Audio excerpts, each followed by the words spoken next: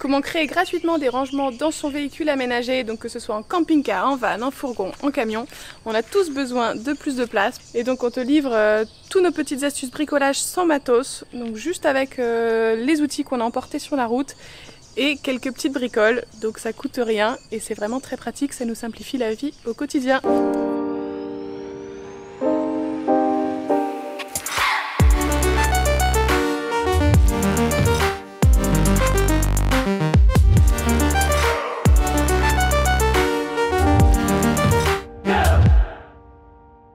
Si tu nous découvres par cette vidéo, on est Marion et Anatole et on traverse l'Afrique avec ce petit van 4x4 que tu vois juste derrière moi et on partage euh, toute notre aventure et plein d'astuces sur notre chaîne donc euh, n'hésite pas à aller voir nos autres euh, vidéos et à t'abonner à la chaîne. On est actuellement au Cameroun. La liste de tout le matériel utile et indispensable pour créer ces petits bricolages sur la route qui te rendront un grand service sont dans la description sous la vidéo. Donc il faut juste dérouler et euh, tu vas pouvoir voir la liste de tout le matériel qu'on a utilisé. Et si tu veux en savoir plus sur euh, nos objets à nous qui nous semblent vraiment indispensables à acheter pour un voyage en véhicule aménagé, on a fait une petite vidéo avec les 14 indispensables pour les moustiques, pour l'eau, pour les rangements, la cuisine, etc. Tu connais sûrement les petits filets très pratiques pour le camping-car. Et donc euh, nous on a fabriqué le nôtre. Tu peux en trouver sur internet des filets qui sont pas très chers mais Vu que nous on était sur la route, euh, ben, on n'en a pas trouvé. Euh, et, donc on s'est dit qu'on allait le fabriquer. Donc on a récupéré des petits bouts de bois dans, des chutes de menuiserie, là, euh, des mecs qui travaillent le bois. Le filet, je crois qu'on l'a payé 1 euro et on a de quoi faire en faire plein. Et l'élastique, ça va faire partie justement des petits indispensables très pratiques à avoir sur la route. Donc il suffit juste de coincer le filet derrière les tasseaux, de mettre un petit élastique. Ça permet surtout de l'optimiser en fait à la surface euh, que tu as. Parce que par exemple nous là on l'a fait un petit peu en biais euh, trouver voilà le, petit filet parfait qui va bien c'est pas toujours évident. L'avantage du petit filet c'est de pouvoir mettre toutes les petites choses qui traînent. On sait pas trop où les mettre. Donc là il y a tous les petits briquets euh, les petites boules à thé les petits bouchons etc ici donc on avait un espace perdu. À chaque fois on posait de, l'éponge et tout ça mais ça, ça glissait etc et donc on a récupéré donc des petits crochets avec juste un élastique et donc on peut mettre nos huiles, le produit vaisselle, et puis là on a le shampoing, le savon et l'éponge qui tient très bien. Donc euh, c'est super pratique, c'est toujours à disposition, ça ne bouge pas. ces petits crochets, c'est pratique d'en avoir euh, toujours en stock. là on met par exemple les torchons.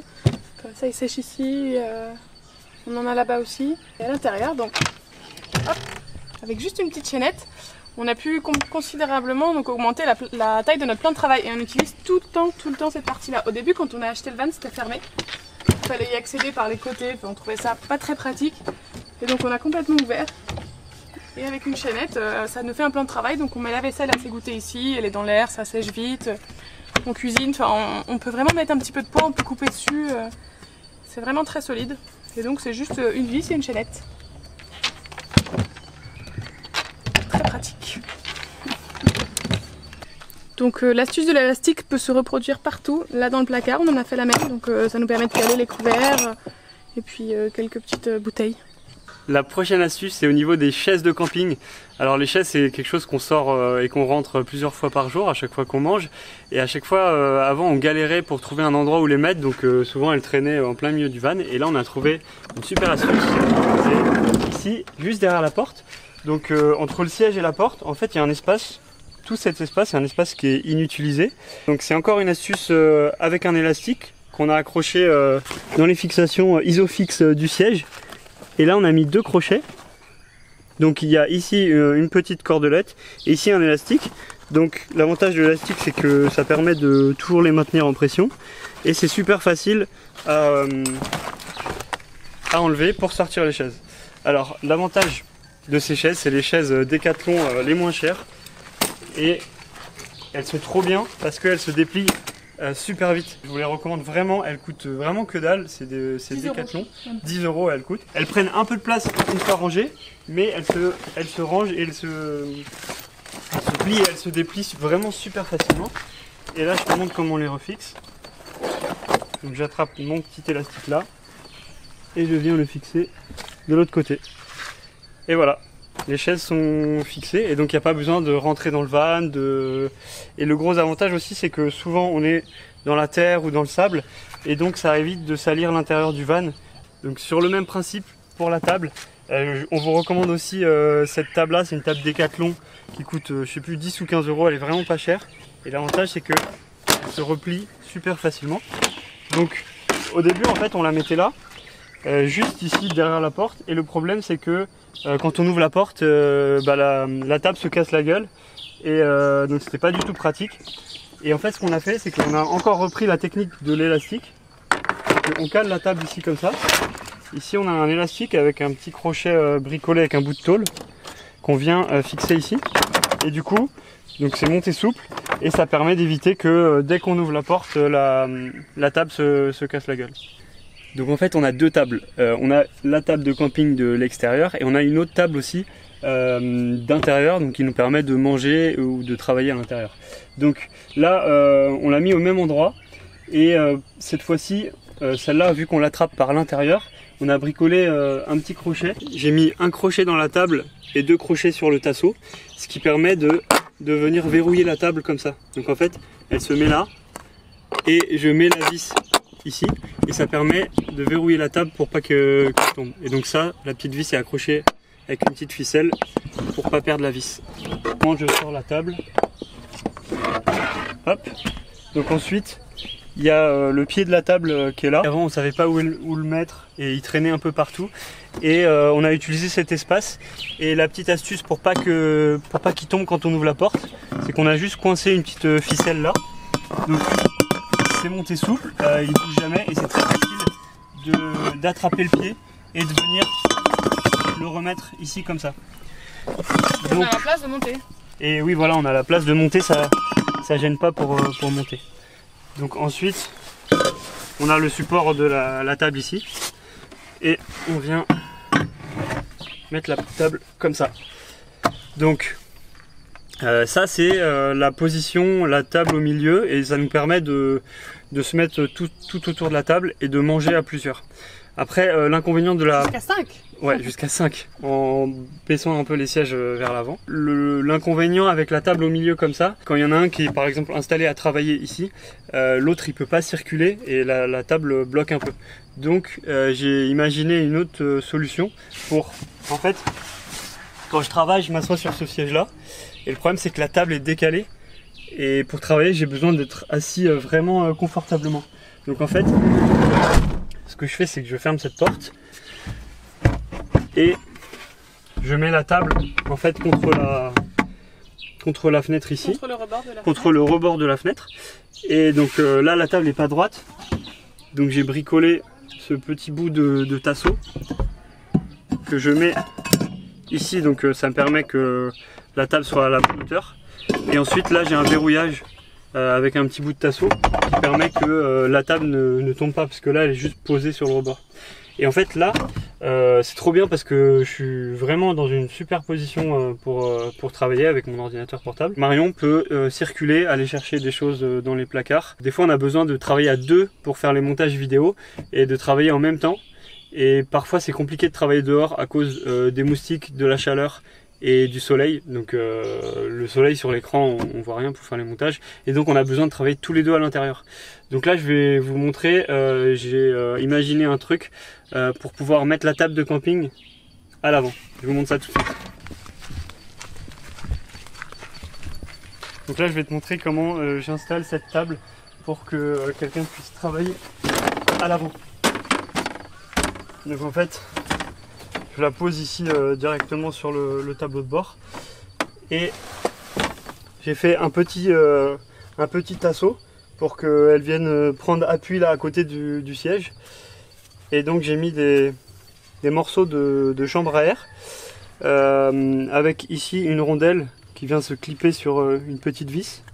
Là j'accroche le haut du tasseau comme ça ici. Hop voilà, et c'est serré très fort. Donc euh, ça risque pas de, glisser comme ça. Ensuite, je pose ici. Je prends cette petite rondelle et cet élastique. Et je viens de verrouiller comme ça. Et en fait, du coup, c'est monté un peu souple. Et euh, je vais te montrer quand je ferme la porte. Hop.